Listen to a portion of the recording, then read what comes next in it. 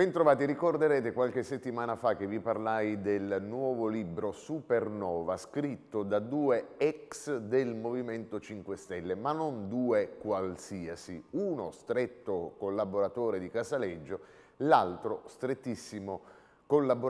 di Beppe Grillo, che manifestavano ed evidenziavano, conoscendo bene il movimento dall'interno, quanto stava avvenendo rispetto alla evoluzione dal momento di nascita del movimento grillino, passando per il 2012 e giungendo ai nostri giorni. Si sta verificando quello che questi avevano anticipato, che io avevo letto e che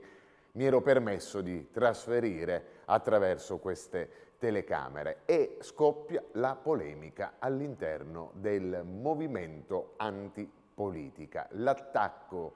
lo subisce in primis Di Maio e dove tentano e come tentano di incrinare la sua popolarità attraverso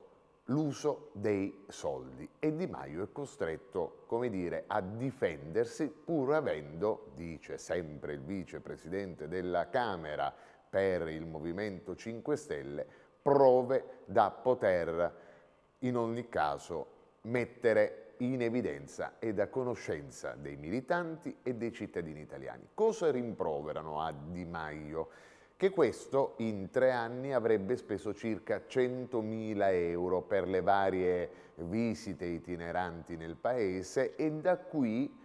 all'interno del Movimento 5 Stelle si è alzato il grido di protesta per un liderismo e per un'ambizione che questo potrebbe avere e potrebbe essere anche condivisa da Grillo di poter ambire al ruolo di candidato premier in caso di elezioni ed anche in caso di elezioni anticipate qualora ci dovesse essere un governo di scopo per eh, il risultato referendario e poi quindi andare alle urne. Cosa sta succedendo? Il Movimento 5 Stelle dissi, attirandomi le non simpatie dei tanti movimentisti, sta diventando un movimento sempre più partitocratico, nel senso, io dico, buono della parola, cioè il pensiero unico in ogni società non ha mai fatto bene. La democrazia, il confronto e anche lo scontro in politica